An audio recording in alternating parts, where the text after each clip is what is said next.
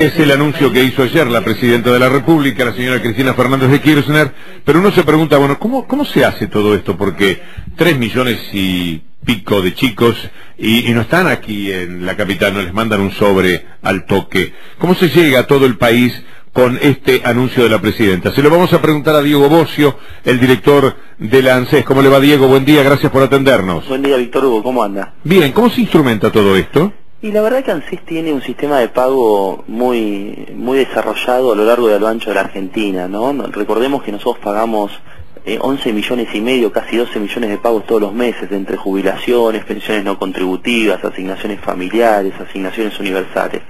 La gran parte de eso, la gran mayoría, se paga automáticamente por el sistema financiero y, y, después están los lugares en la Argentina que uno dice, bueno, ¿cómo llegamos a pagar a los toldos o Santa Victoria Este en Salta? Y bueno, tenemos que ir todos los meses con un helicóptero de gendarmería, junto con un oficial del correo, un oficial, un, personal de ANSES, y baja la gente de los cerros, la verdad que es muy, muy, muy emotivo, y bueno, hay más o menos 500 vecinos de esas localidades que cobran la asignación, la pensión, eh, la jubilación. ¿Todos los meses hacen eso? Todos los meses en el impenetrable chaqueño, en Río Negro, eh, en muchos lugares de la Argentina en donde no hay sistema financiero, pero esas familias quieren vivir eh, en ese profundo interior de la Argentina. En lugares donde... En, la Quiaca. en lugares donde alguna vez se llevarán una sorpresa porque de pronto ni, se, ni saben ni se han enterado en algún caso de que han tenido ese aumento.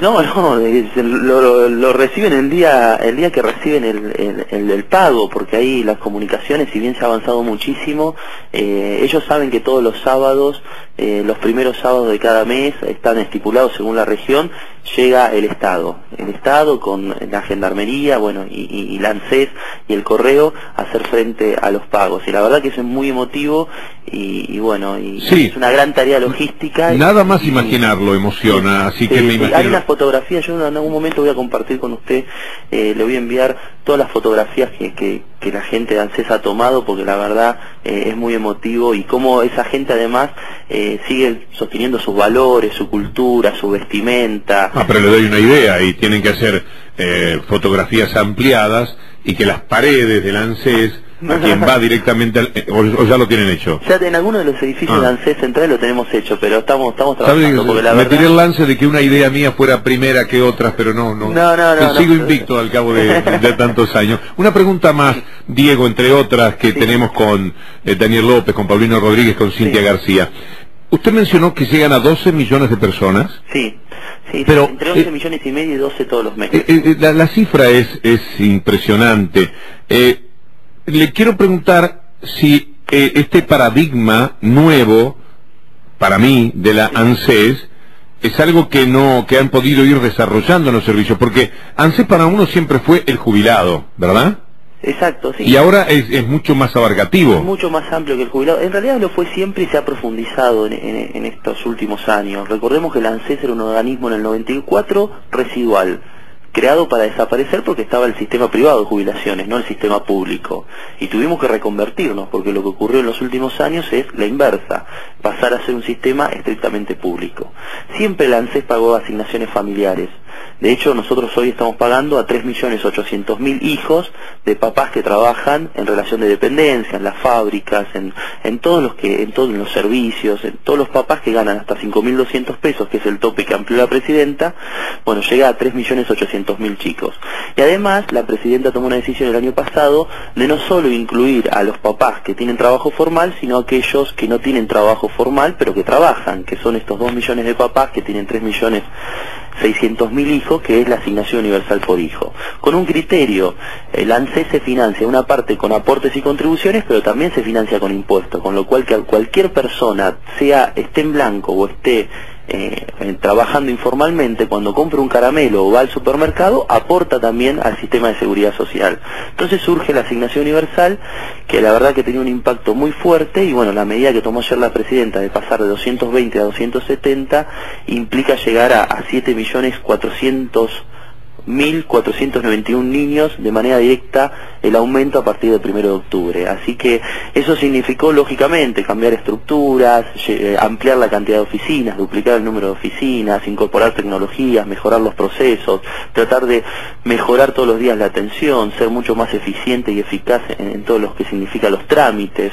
La base de datos es muy importante. Es muy importante que los argentinos estén registrados en la ANSES, que tengan el CUIL, que cuando tienen un hijo puedan eh, registrarlo. Eso implica estar dentro de lo que significa la seguridad social, los beneficios de la seguridad social y eh, la protección del Estado, que está, se está ampliando permanentemente, como Argentina siempre lo tuvo, lo que pasa que, bueno, en un momento se tomaron decisiones que eran contrarias eh, a los valores, a la cultura de la Argentina y bueno, hoy estamos retomando nuevamente esa cultura de un Estado presente y de un Estado donde cuanto más presencia tiene, mejor inclusión y mejor protección tiene hacia todos los argentinos, ¿no? Aún cuando falta muchísimo, ¿no? Eh, seguro, Daniel López le habla, ¿cómo le va, Bocio? Buen día. ¿Cómo anda, Daniel? Bien, y en aras justamente de ese perfeccionamiento y de ese avance institucional, ¿se podrá avanzar en algún mecanismo por ley para actualizar las asignaciones por hijo, por ejemplo, dos veces por año de manera programada como las jubilaciones? Mire, desde que se implementó la asignación universal por hijo, la asignación aumentó un 50%. Pasaron de los 180 pesos originales en aquel noviembre del 2009 cuando anunciamos este nuevo derecho que lo anunció la Presidenta de la Nación,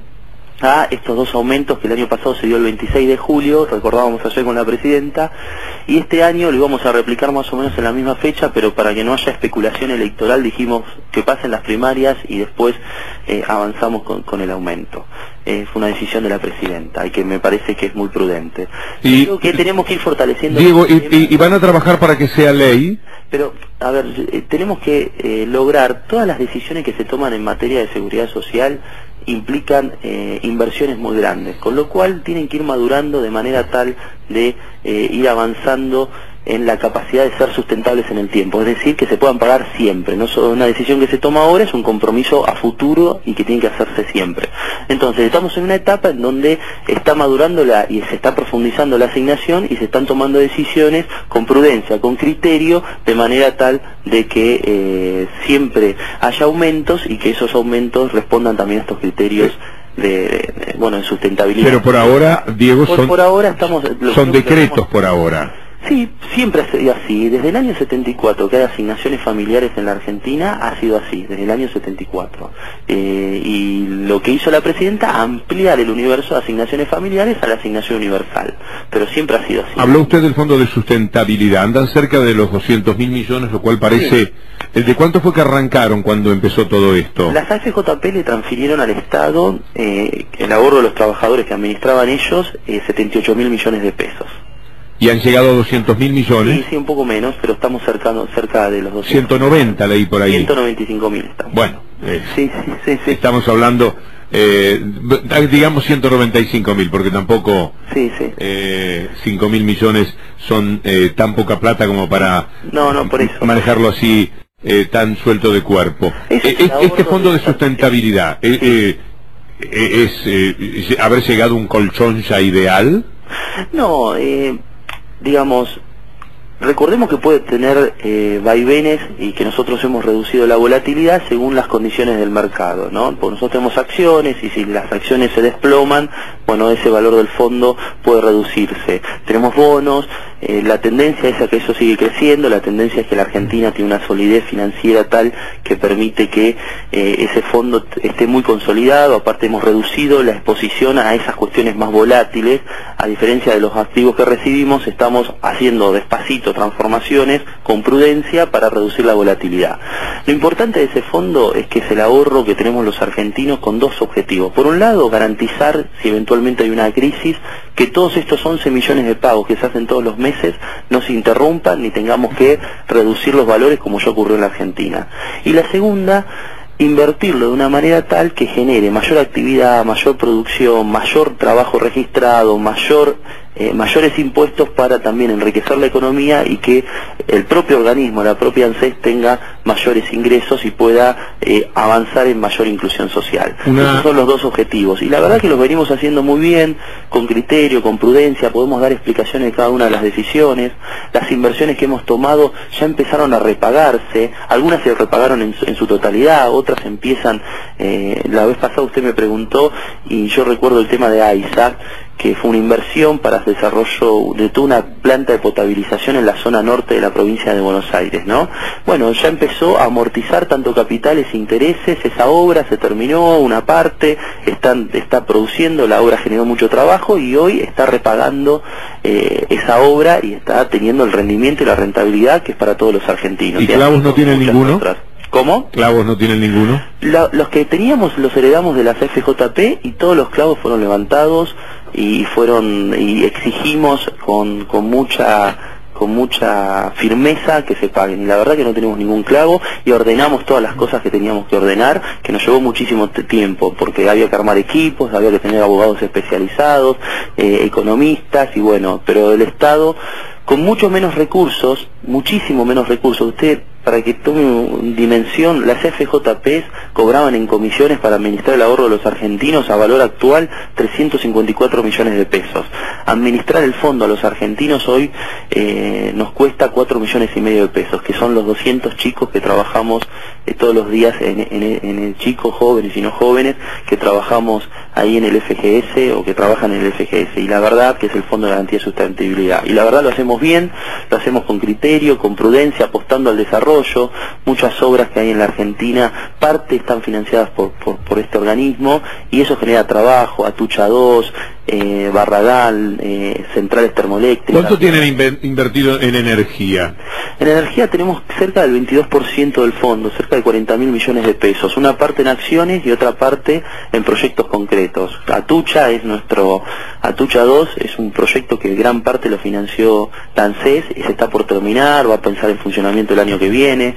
EPEC, que es una central termoeléctrica de, que, que está en en la provincia de Córdoba, la Por eso hablaba... parte en ANSES y está generando ya energía, lo mismo pasa en el sur de Santa Fe, Timbú, Manuel Belgrano, hay muchas centrales termoeléctricas en, en, Neuquén, que, están, que han sido financiadas por ANSES y hoy están generando energía y no solo están generando energía sino que están repagando la inversión. ¿no? Por eso me permitía mencionar el tema de la, la, cantidad de actividades que desarrolla hoy día la ANSES que uno la tenía siempre desde una simplificación que significaba pagar las jubilaciones, por ejemplo, o las asignaciones. Le agradezco mucho. Esto, Víctor Hugo, ocurre en el mundo, digamos. Si viene el administrador en el mundo, en donde hay más desarrollo, en donde hay un estado de bienestar, en donde el Estado empieza a expandir los derechos y aumentar el, bienestar a través de la presencia del Estado. Si uno habla con el director de ANSES de España, de Alemania, de Francia, tienen fondos, esos fondos los invierten, en el caso de España todo en bonos, en otros en actividades en Nueva Zelanda, eh, también ocurre en los países nórdicos, es decir, Argentina empieza a recuperar eh, herramientas para desarrollar políticas que ayuden a que todos vivamos mejor, producto de que se empiezan a recuperar eh, el ahorro de los argentinos y se toman estas decisiones trascendentales. Así que mm, no es algo anormal, no es algo eh, en la seguridad social estas cosas se discuten y se discuten con un nivel de profesionalismo que la verdad Argentina está a la altura de las circunstancias.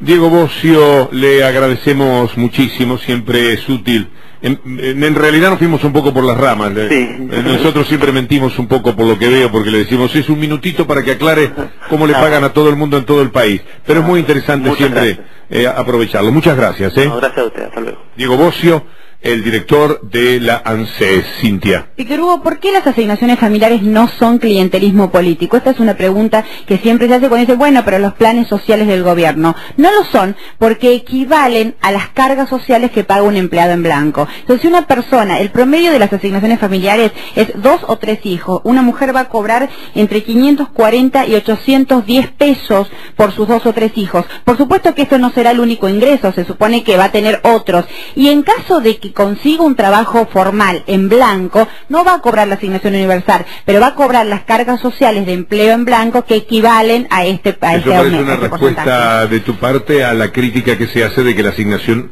no es universal. Se dice que es universal, pero no llega a todos.